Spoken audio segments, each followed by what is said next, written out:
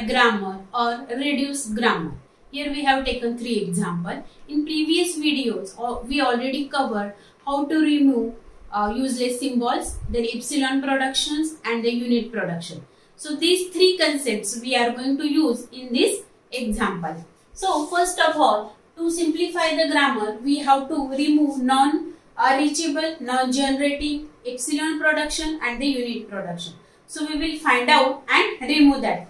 So first example, there are three variables. In this example, there are three variables and some terminals are there. Also there is a epsilon production. So first we will find whether uh, there are any non-reachable or non-generating variables or the symbol present or not. So here from S, from S, A, S, B. That means from this production we can reach S itself, A, B. So A and B, these are the uh, reachable symbol right now. From A, we are getting A, capital A, S and A. B is giving this one. So here no non-reachable symbol.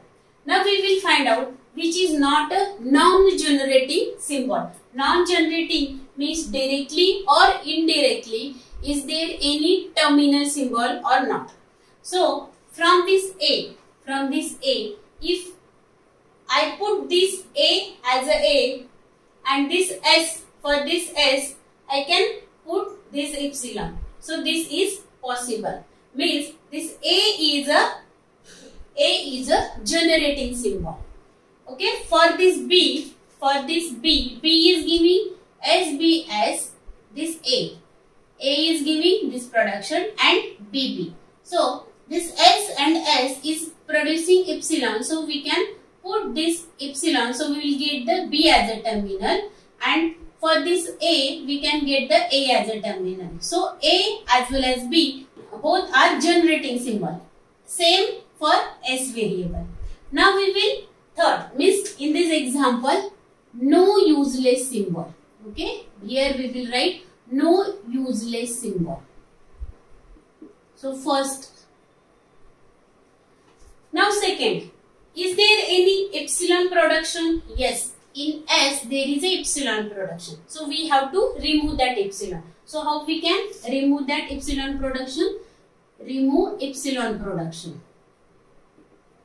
So S tends to A S B. Then if I put S as a epsilon then I will get AB as a production. So here we remove the production uh, epsilon production from S. Same A we will write as it is as there is no um, epsilon production. B also we will write as it is BS and A BB. Means after removing epsilon production we are getting this grammar. Now third step is removing unit production. Removing unit production. In this grammar there is there won't be any unit production. So, my final answer is S tends to ASB, AB, A tends to AA, SA and B tends to SBS, ABB. This is our final answer after simplification. Now we will see second example how to reduce or simplify this grammar. S tends to SC, SB. There are four variables S, A, B, C and terminals are small a, small b, AD. These are the terminal symbol. Now here first we will find useless symbol. Useless symbols are two type non-reachable and non-generating. Okay, so we will find out non-reachable first. So non-reachable from S I can reach to AC. Using this I can reach to C. From this production SB, S is itself and B. Means I can reach to B as well. Now from B, we'll check, we'll check A. From A, B, S, C, A. So from A I can reach to S as well as C. S as well as C. So here we write this one. From B I can reach to S, B, S, B BC, BC. From this C, I can reach to B and C, B and C, and AD is a terminal. That means there won't be any path to reach A symbol. Means there is no production to reach A symbol. So A is a A is a non-reachable symbol. Non-reachable symbol. So we will remove that symbol from our grammar. So our grammar will become S tends to AC, SB, then B tends to ASB, BBC, C tends to ABC and AD. Now we will find out non-generating symbol. Non-generating symbol means those symbol which are not producing any terminal or uh, directly or indirectly. So from this, from this if we observe from S, A, C, this capital C. So from C we can get this AD as a terminal. From this S tends to SB, SB so from B I can get ASB means for this B I can put it again ASB like this. ASB and B is not producing this this as well as this this B is not producing any terminal symbol that means this B is a non-generating symbol B is non-generating symbol because this is not producing any terminal. So, we will remove B symbol from this grammar. So, S tends to AC. Wherever is present, that production we have to remove. So, S tends to AC. So, we are not going to write this production. B completely remove. Then, C tends to ABC. We cannot take C tends to AD means S tends to AC, C tends to AD. This is our grammar after removing non-reachable and non-generating useless symbol.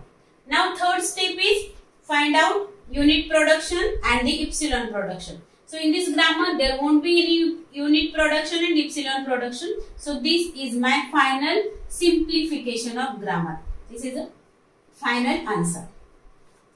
Now we will see this third example. Third example is having variable, four variables are there. Uh, 0, 1 terminals, there is unit production, uh, there are many unit production, epsilon production is also there. So, we will try to simplify this grammar. So, first is removal of, removal of useless symbol, non-reachable useless symbols. So, first we will find non-reachable. So from S we can reach to A with the help of this production. So A is reachable. From this production we can reach to B reachable. BB reachable. Okay. Now from A we can reach to C. That means every symbol is reachable. Means all symbols are symbols are reachable. Here we will write like this. Now second step is there any non-generating symbol? If we observe in this example, non-generating means directly or indirectly that symbol should uh, have epsilon or the um, terminal, terminal. So here from this S we can have A, B. Okay, these are the variables. So from A we can reach to C and C is having epsilon. That means A as well as C are generating symbol. Same for B. B is having S and S is reaching indirectly and getting S. So, B is giving S A and A and S can get the epsilon symbol. Means all are generating symbols. All symbols are generating. So, no uh, variable will be cut down from this grammar. Now, this is our first step. Now second step. Removal of epsilon production. If we observe this grammar, there is a only one uh, epsilon that is C tends to SE. So, wherever is C present, we will uh, put it in, uh, with the help of epsilon. But if we observe S is giving A, A is giving C, C is giving again S, and B with the help of B, we can get S and A. Means this is a uh, cycle we can say. Means from one symbol we can reach to another symbol from second to third like that. This is a, a cycle, complete cycle we can say. So from this S, we can get the uh, production like this after putting epsilon for C. So C directly won't be present here. But C is giving A, A tends to C and C is giving epsilon. Okay. So for this first production 0 A 0, 0 A 0, A is giving C and C is giving epsilon. So after putting A as epsilon I will get the production 0 0. Now we'll check for this 1B1. 1B1 here we'll write 1B1 as it is. And for this B, B is giving A, A is giving C and C is giving epsilon. That means B is also epsilon. 1, 1. For this BB, we'll write BB as it is. For any B, if I uh, put epsilon with this B, B is giving A, A is giving C, C is giving epsilon. So this production I am getting and epsilon production also I am getting but we have to remove epsilon production so we are not going to write epsilon over here okay? So we have to remove it. Now second a tends to c as it is then b tends to s as it is and c tends to s only after removal of epsilon. Means this is our second second step after removal of epsilon production. Removal of epsilon production. Here we will write epsilon production. Now third step is remove remove unit production. So if we observe here A is giving B. So B is giving A, A is giving C and C is giving again S and again this cycle is going on and finally epsilon we can get with the help of C like that. So remove unit production. So unit productions are there. This B is unit production. Then this C, S, A and S. Means if we observe B is giving S, C is giving S and B is giving A also and S is giving B also. That means all variables are same all variables are same. So, how we can remove the unit production?